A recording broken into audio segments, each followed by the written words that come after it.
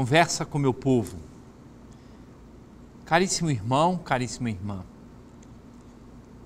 eu quero dizer a você, seja bem-vindo a esta sala de conversa. E lhe agradeço também pelo fato de você admitir à sua casa esta palavra da igreja. O diálogo sobre temas de formação para a nossa vida cristã.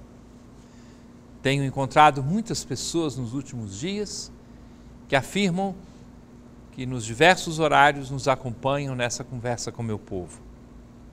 Trata-se de uma grande responsabilidade para mim e também para você, para nós construirmos juntos este contato, um relacionamento positivo entre o pastor visível da igreja e as pessoas que me foram confiadas pela graça de nosso Senhor. Sinais de amor.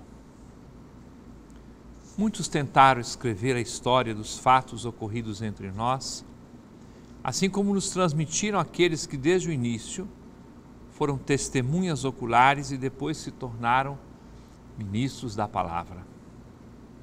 Diante disso, decidi também eu, caríssimo Teófilo, redigir para ti um relato ordenado.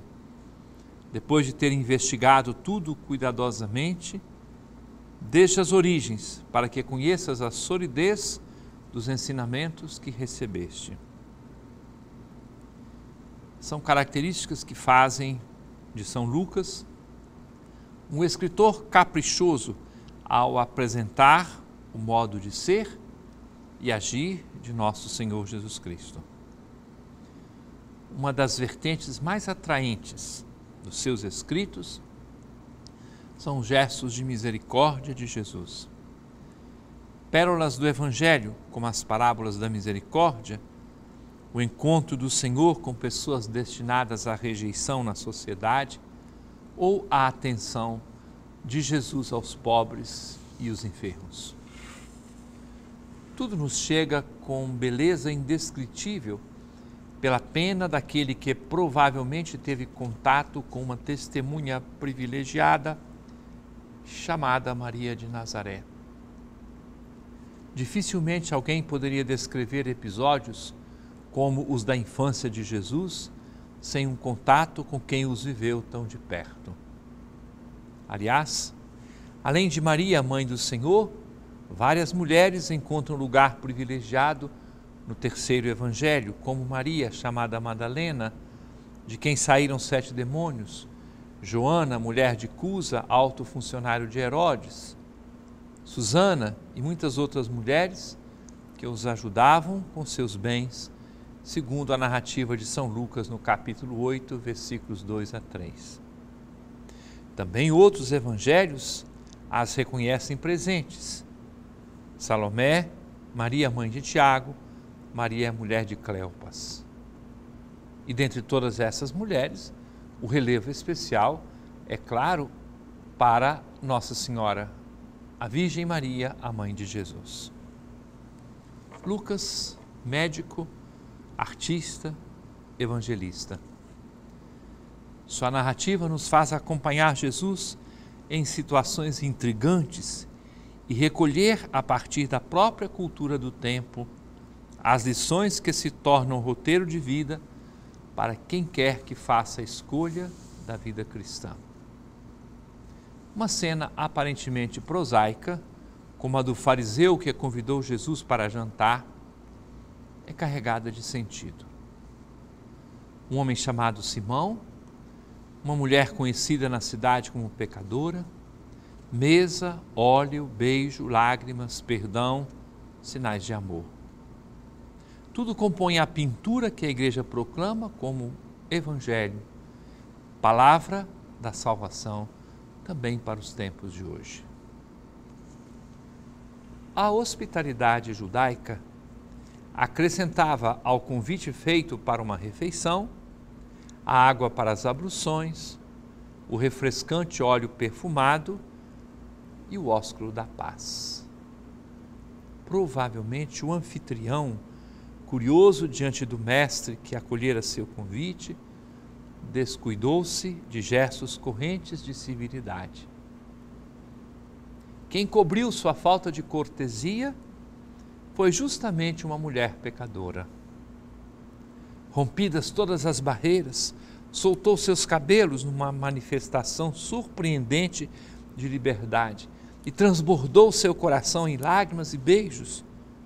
Tendo pecado tanto, amou muito mais e saiu dali com os preciosos tesouros do perdão e da paz. Os traços de tais gestos se encontram presentes na igreja, nos sinais de amor com os quais se celebram os chamados sacramentos da iniciação cristã. Água do batismo, óleo na unção na crisma, mesa preparada na Eucaristia.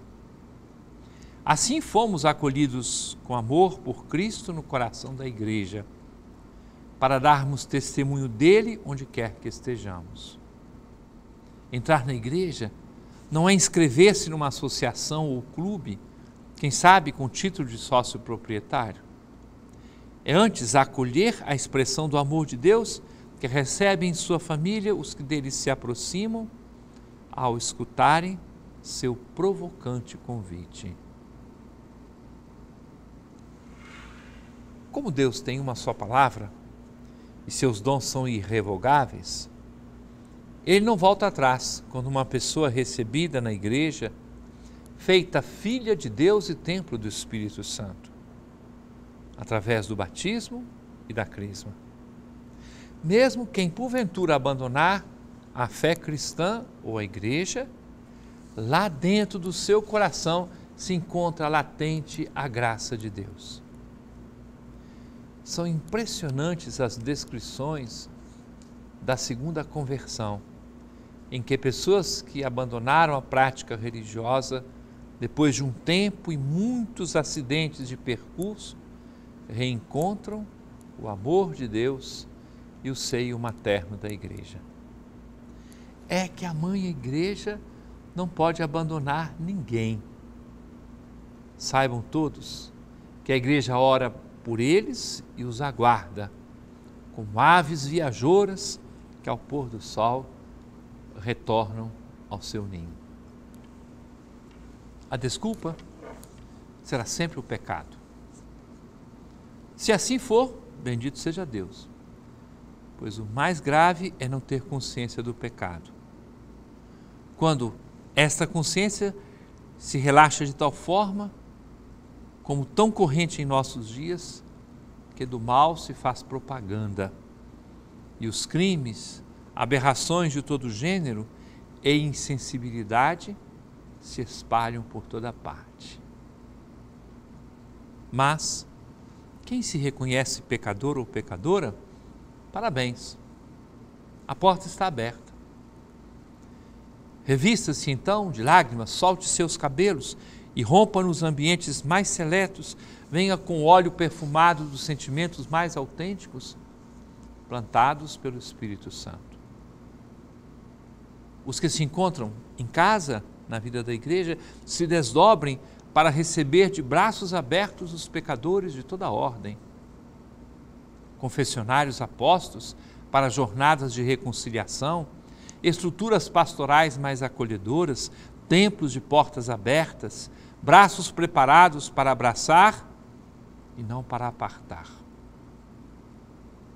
Agentes de pastoral, discípulos missionários, em suas mãos e em seus passos se encontra a chance que muitos esperam para voltar à casa paterna.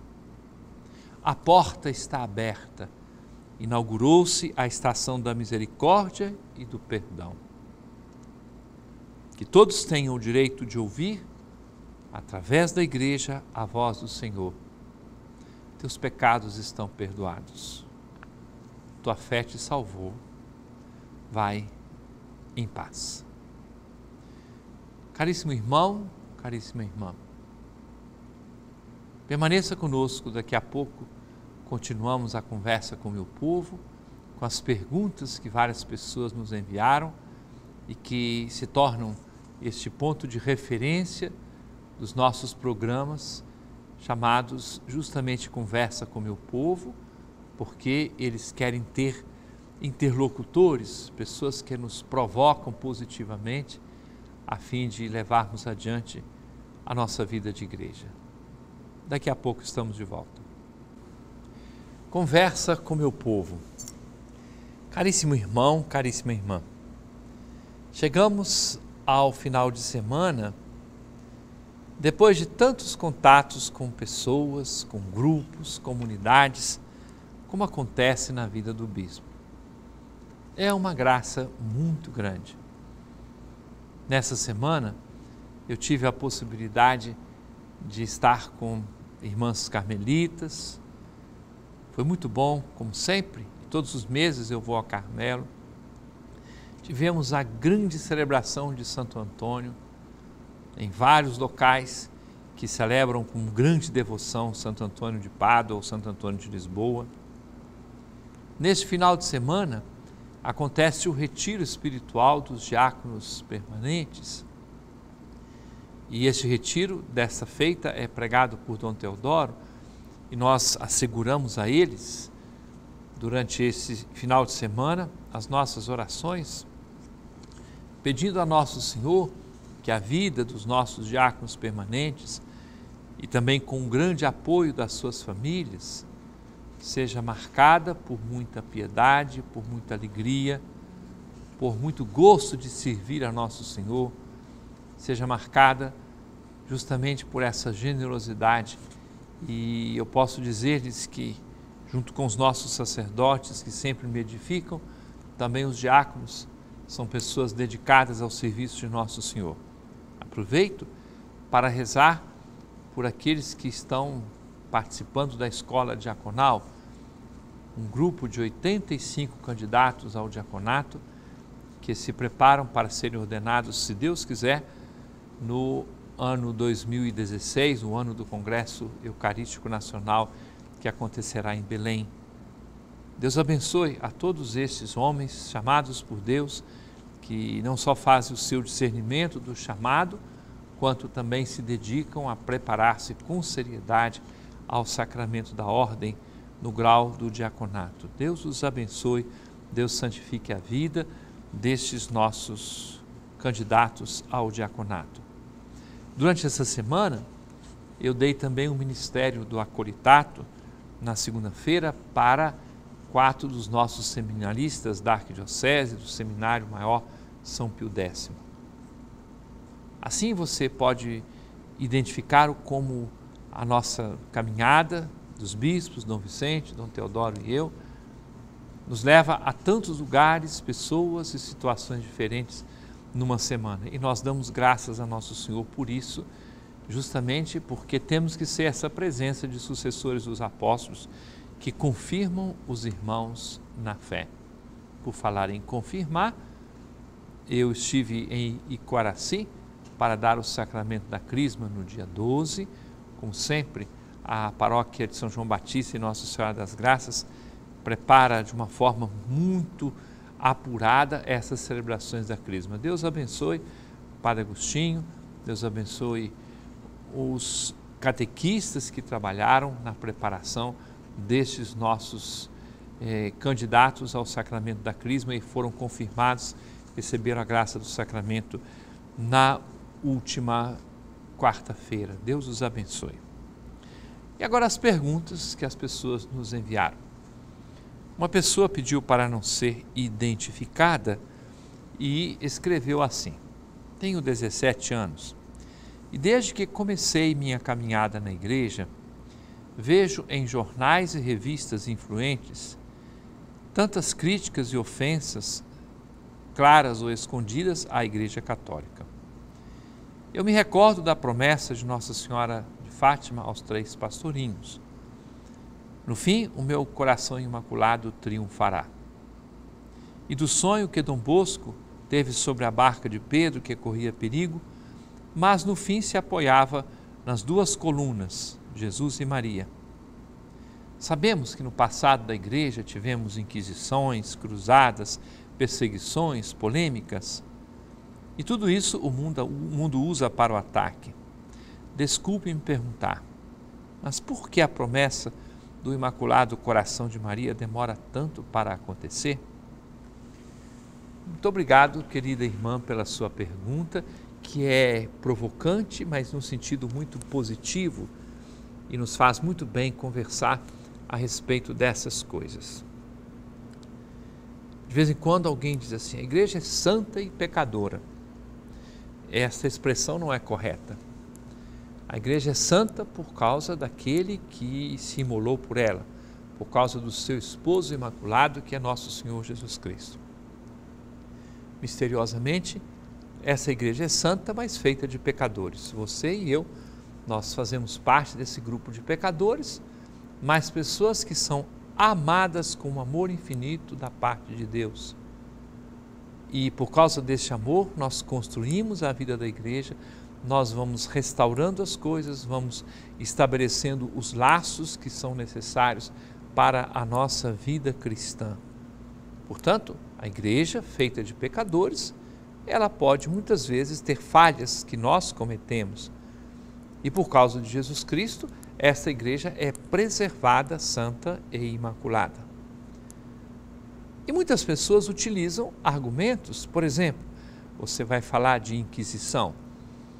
Se nós verificarmos a Inquisição é, de outros grupos religiosos, também de igrejas protestantes, com relação aos seus eventuais adversários, nós teremos também coisas gravíssimas e fortes, mas não nos interessa com quem quer que seja, da igreja, fora da igreja, de outros grupos religiosos, de outras igrejas, julgar em rosto das pessoas as eventuais falhas ou defeitos acontecidos.